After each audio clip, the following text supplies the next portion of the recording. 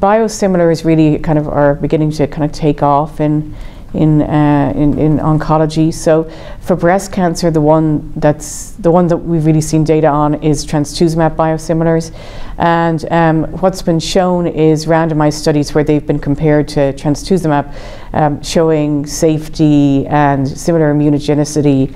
Um, so they are pretty much ready for prime time.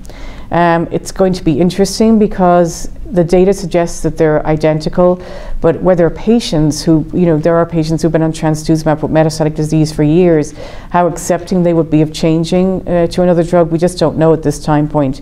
Um, so they're an exciting breakthrough, and obviously there are biosimilars in some of the supportive agents we use that are already used. So this is for real, and, and, and it's definitely going to start uh, impacting our care.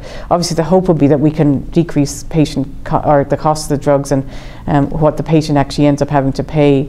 Um, you know, other things are different modes of administration. So there is a subcutaneous form of trastuzumab, which again would be very useful.